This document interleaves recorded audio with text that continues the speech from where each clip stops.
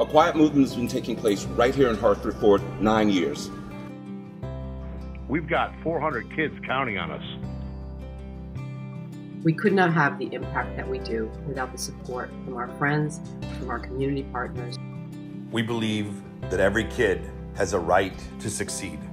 What began as a backyard barbecue in the West End has grown into one of our most popular and widely attended philanthropic events in our community. That's right, it's all for charity. At the Hartford Rib Off, we do what we do every year, not because we love our barbecue, but because we love Hartford.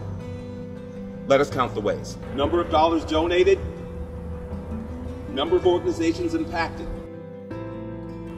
percentage of proceeds that go directly to worthy causes, number of lives touched, countless. How do we do it? We get together with neighbors.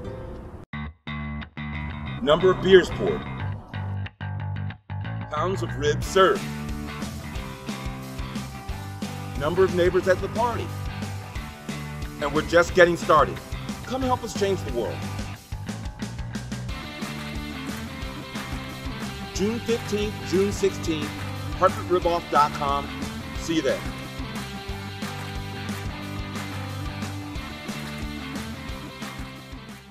baby back ribs, short ribs, racks of ribs, half racks of ribs. Why, everything is ribs.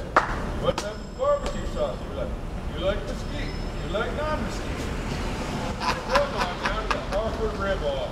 We will rib you off.